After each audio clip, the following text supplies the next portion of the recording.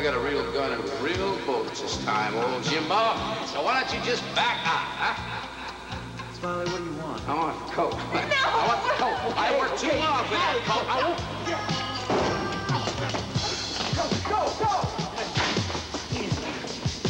Hey, J- Jimmy, let me out of here. Jimmy, it, it- come on, it's Smiley. You know me. I'm just kidding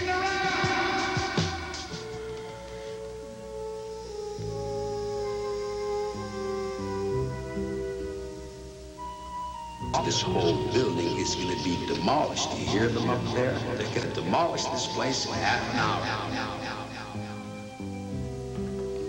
Sorry, the building, the, the whole, the whole, my God, what, somebody, somebody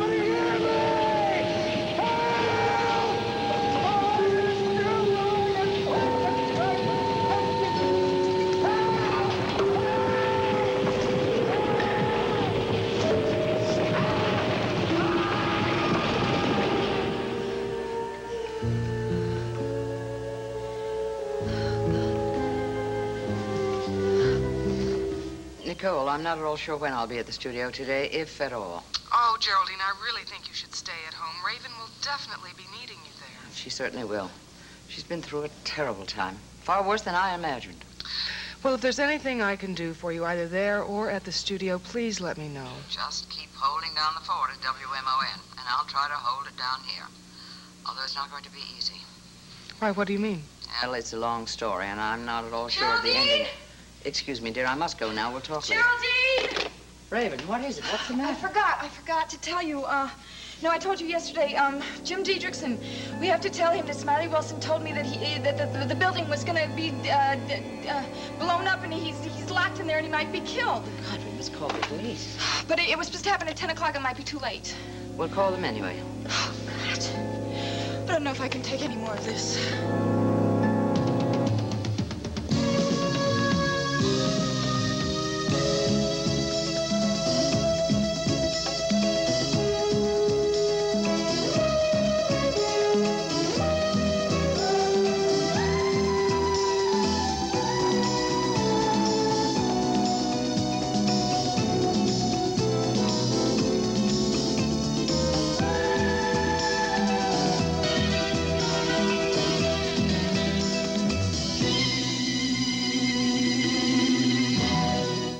Yes, Derek, of course I understand.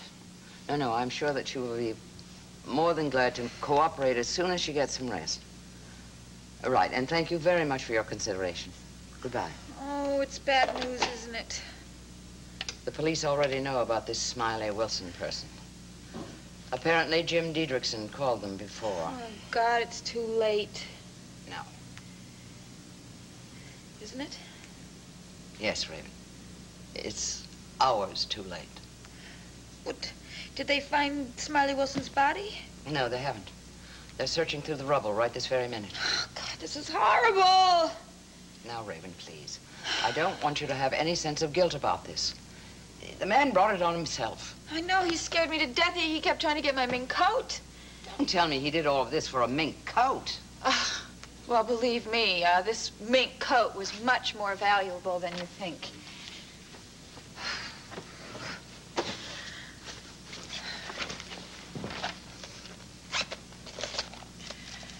What is that? Twenty million dollars.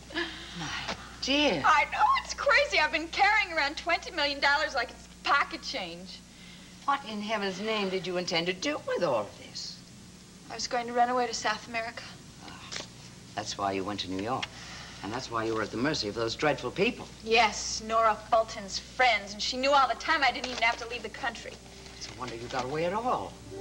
Wasn't there something about a policeman? He wasn't really a policeman. He was Smiley Wilson's brother, Hector Wilson, and that's what I can't believe about this whole thing. Two of them. Hector Wilson and Jim Diedrichson have both saved my life, which reminds me. I have got to call Jim Diedrichson. What for? Because I want to find out if he knows anything more about uh, Smiley Wilson. He'll probably be at Gavin's old number,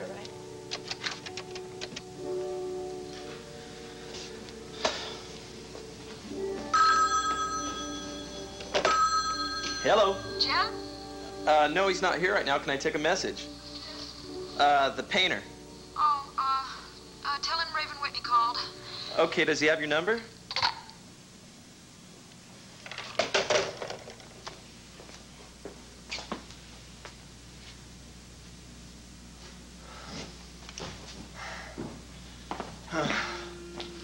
God, where have you been?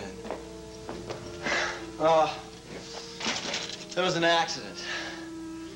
Somebody I knew was in a, a building that was being demolished. So I thought I'd help the rescue crew out. Did you find him? No, it was really strange. I didn't find a trace in that whole pile of rock. I'm sorry. Was he a close friend? no, he's more like a close enemy. Look, I won't take up very much of your time. If it's okay, I'm just gonna go up and shower and change. Hey, it won't bother me in the least. I'm not getting anything done anyway. That's Mother's Helper in the third, my buddy in the fourth, and, uh, yeah, Heimlich Maneuver in the fifth. Uh, make that last one across the board, okay?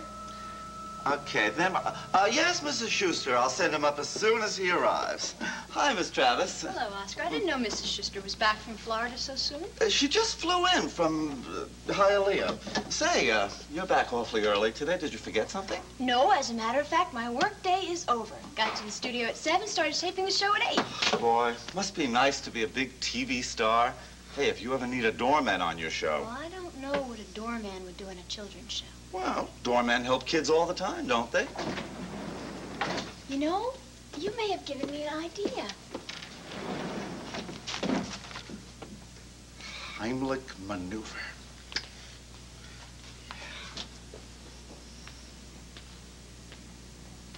Hi, Oscar. Ah, hello. How'd you do at the track yesterday? Oh, I had a great day. I almost broke even. Good for you. Yeah, but I expect to do a lot better this afternoon. Viva, I had this dream last night. I, I saw all these colored numbers flashing in the sky. I think they were post positions. Sounds fascinating. Mm. Oscar? Hmm? You think if I took you out to lunch at the coffee shop, you could tell me the numbers too? Well, sure. Why not? But, uh, you know, like I said, I can't guarantee anything. Uh, you know?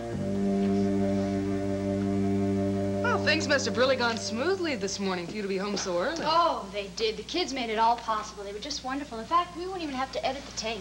That's great. How'd the spelling bee turn out? He was cute. Actually, she was cute. The character's being played by Betsy Lambretta. Uh, which reminds me, Oscar just gave me an idea. What do you think of a character named Mr. Doorman? You're not going to take Oscar away from us, are you? No, no, I just had this idea about a doorman whose costume is a door with like a doorknob and a key. Doorman. Doorman, get it? I love it. It sounds great. I think the kids will like it too. I, um, I also had some bad news this morning. Did you know Kelly has decided to go back to Rome?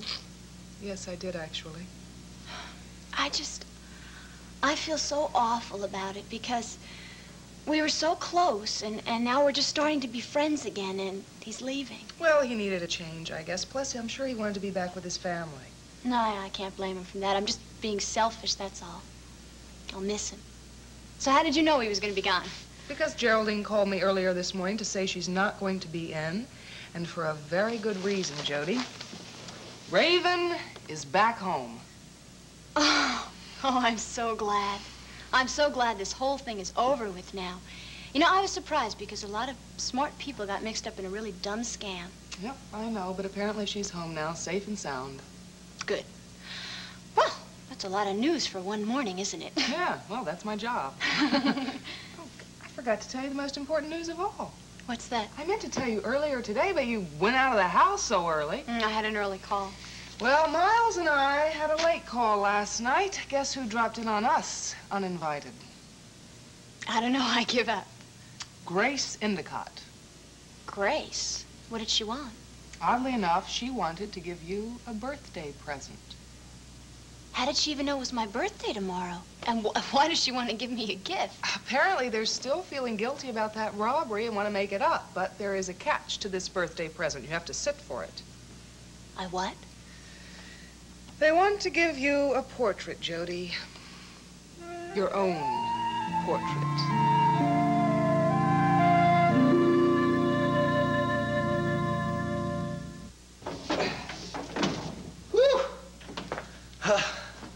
Thanks, Chad. That feels a lot better. Hey, no problem for me. Well, I promised I'd stay out of your hair in the morning, though. Hey, I still think of this as your place, you know. No, no. You're paying half the rent. Well, I'll get out of your way now. You're not going back to the excavation. No, I think they probably called the rescue off. Thanks. See ya. Oh. I'm here to see Chad. Thank you. Hello, my boy. How are you doing? Well, the studio's great and the light's perfect, but uh, the artist leaves something to be desired. Yes, and the artist's friend knows exactly what that is. Do you? Yes, Chad, I definitely do. What you need is inspiration. And I've come to bring you some. I was sort of hoping for a roast beef sandwich. Oh. Do you remember that uh, portrait commission I spoke to you about? You mean Jody? The assignment is yours. Grace made all the arrangements last night. Are you serious? we can place a call to the lovely young lady right now and make an appointment for her first sitting. Ah, at last I see a sparkle in the artist's eye. But what do you know? I, I, I just can't believe it. I thought she'd never go for it, especially since Ga- oh, wait a minute. What about Gavin Wiley? And what about that envelope you showed me the other evening? Yes. I was just thinking about that myself. Well, in fact, we can kill two birds with one telephone call.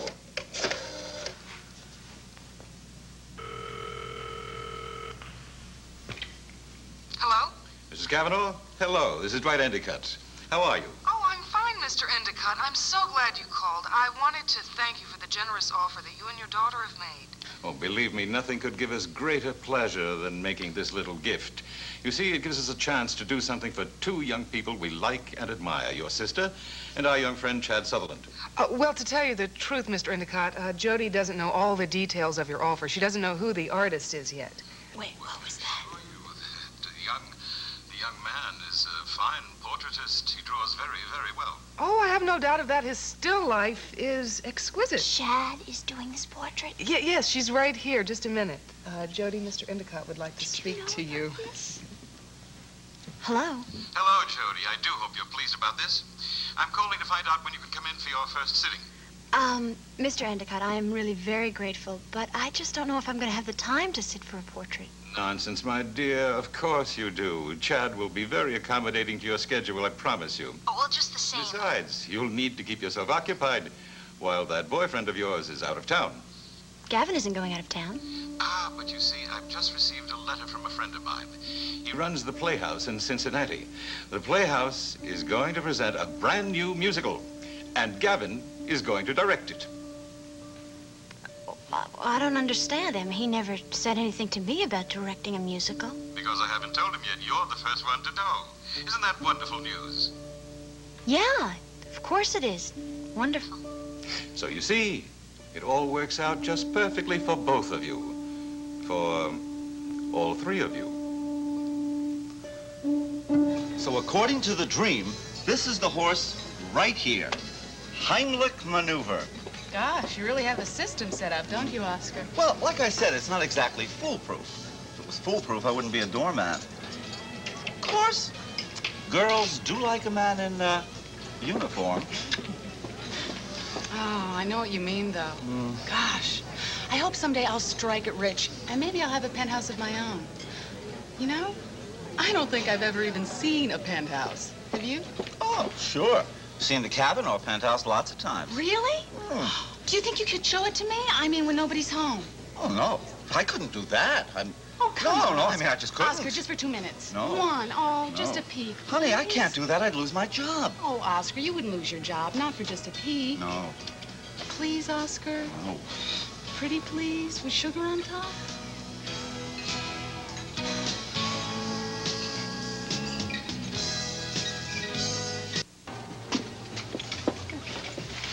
God, could I use one of these?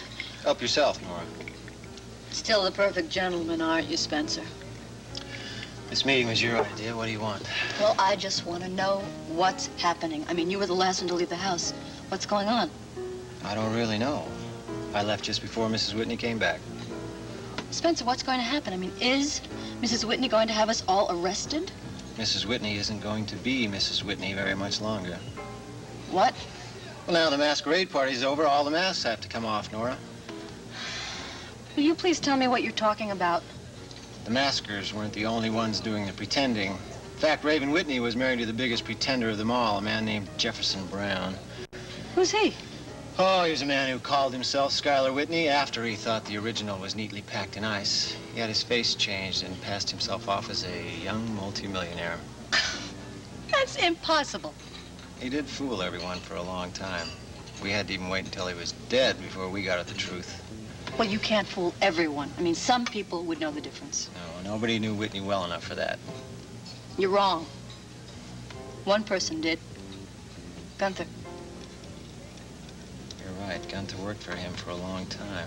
No imposter could fool Gunther for more than one minute.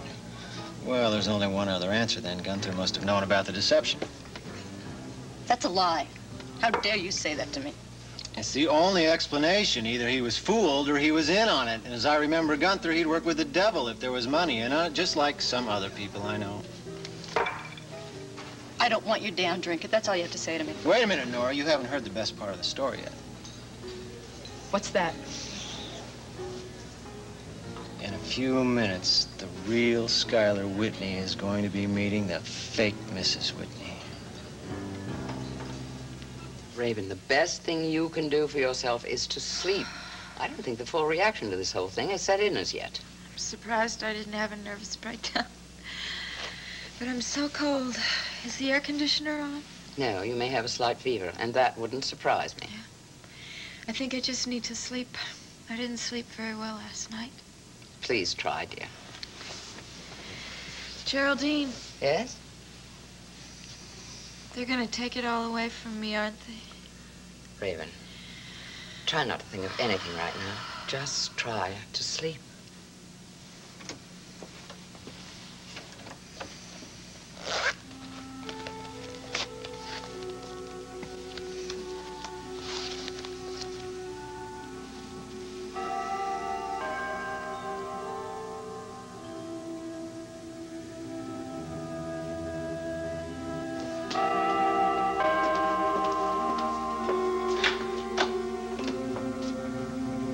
Please come in.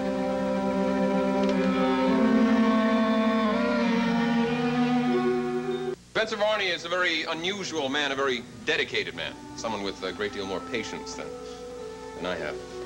Yes, I have seen that quality in him, as well as the quality of loyalty at times. Oh, yes, indeed. It took him more than a year to get what was necessary to prove who I am. You do know who I am, Geraldine, don't you? Yes, my dear, I know who you are. And I've accepted it as fact. Spencer realized, of course, that Raven would deny it to her dying breath. That's why he urged me to be so cautious, and that's why he planned carefully. But I don't understand why Spencer would take part in this nightmarish scheme to deceive her. Why would he do such a terrible thing? Well, he didn't really take part in it, as I understand. He took advantage of an existing situation to get a uh, statement, you might almost call it a confession from Raven. Would you like to hear it? Very well.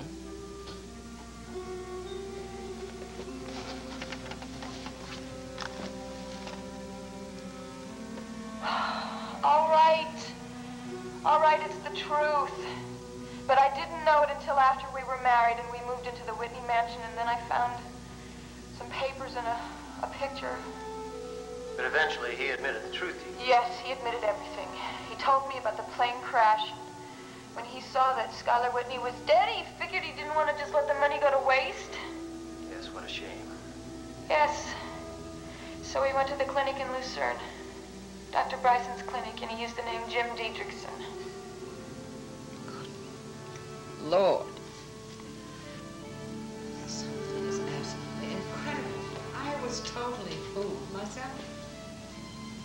Oh, yes, he was a master at what he did. There's no doubt about that.